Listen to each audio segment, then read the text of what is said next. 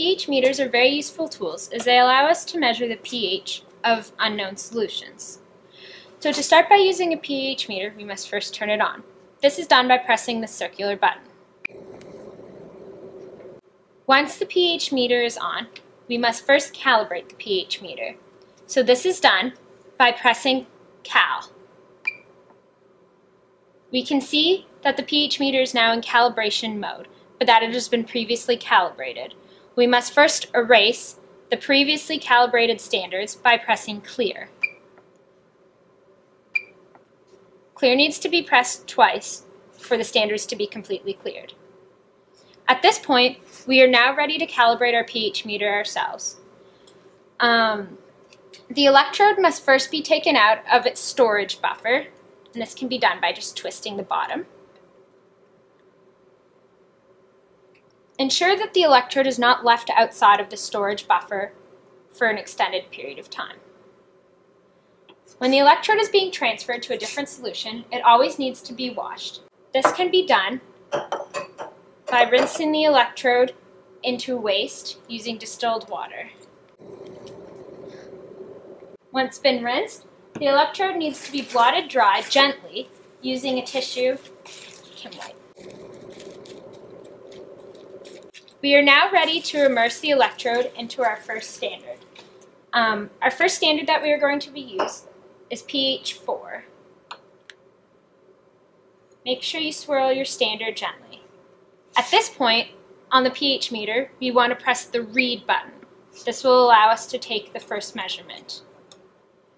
At this point, we want to watch what's known as the auto eye for it to stop blinking.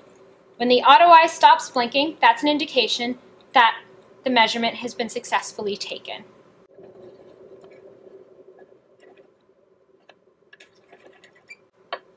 After you hear the beep, that's an indication that the measurement has been successfully taken, and we are now ready to take our second measurement. First, however, we need to rinse our electrode once more.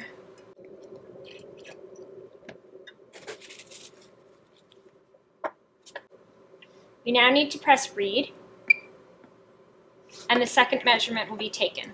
The second measurement is going to be taken at a known pH of 7. The pH solutions are obtained from a standard buffer solution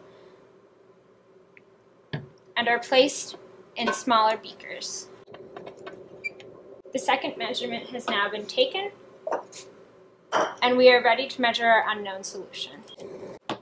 If the electrode is going to be left outside of water for an extended period of time, it is important that it is returned um, to the storage buffer solution as we do not want the electrode to dry out. In this case, however, I'm going to immerse it in my unknown solution. I'm now ready to take the pH meter out of calibration mode. All I have to do is press exit. When measuring an unknown solution, it is important to make sure that the um, solution is stirring. Sometimes it's necessary to adjust the electrode so that the electrode is not interfering with the stir bar. Make sure that the electrode is being completely immersed in the solution, however again, is not being hit by the stir bar. The pH reader is now reading the current pH of the solution. So at this point, I wait for the pH meter to stop changing and once we've reached a constant solution, I can record my pH. So in this case, 5.69. Once I've recorded all my pHs, I remove my electrode from the unknown solution, rinse the electrode, and return it to the storage buffer. At this point, I can now turn the pH meter off.